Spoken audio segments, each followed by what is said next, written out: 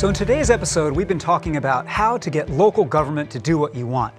And we've been focusing on three core strategies. First, testifying in hearings, making your voice heard in a way that requires you to actually practice, to root it in story, and to really have a plan about how you're going to use that time in front of uh, your elected officials.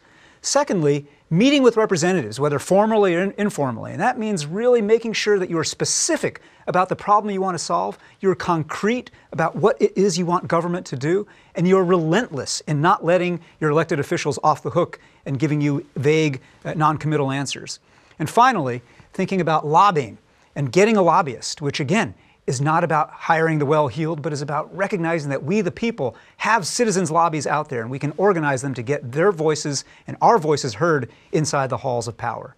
But above all, literally, is the idea that we have to, as citizens of this city, vote. To vote is to get all of our elected officials to pay attention and to get government to do what we want. Elected officials are, in many ways, leaders, but they are also exquisitely attuned followers, and they will follow the vote and see who shows up to vote. So make sure you do.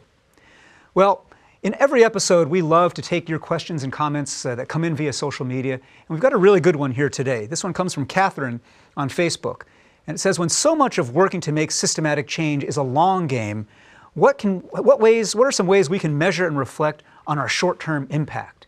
Well, we've actually been hearing about that throughout this episode. Uh, our friend from Seattle Neighborhood Greenways was talking about how so much of this work is about having a stepwise plan. That they recently, as an organization, had this big win where the City Council unanimously passed a resolution uh, calling for the stitching together of bike lanes across the city. But remember, that resolution is non-binding. There are other steps that have to go from there. And so you've got to be thinking about how can you chunk the work into a set of small wins that can build upon each other. This is the way we've got to think about it to not feel apathetic, hopeless, or overwhelmed. Well, we want to hear from you in the future with all kinds of questions and thoughts, so please contact us through all these different channels on social media, our email address, and our website, and of course our hashtag always, hashtag CitizenUTV. Uh, well, that wraps this episode of Citizen University TV. We hope you've learned something about how to get local government to do what you want, and we hope you'll think more broadly about how to exercise your voice and your power as citizens. I'm Eric Liu. Thanks for joining us.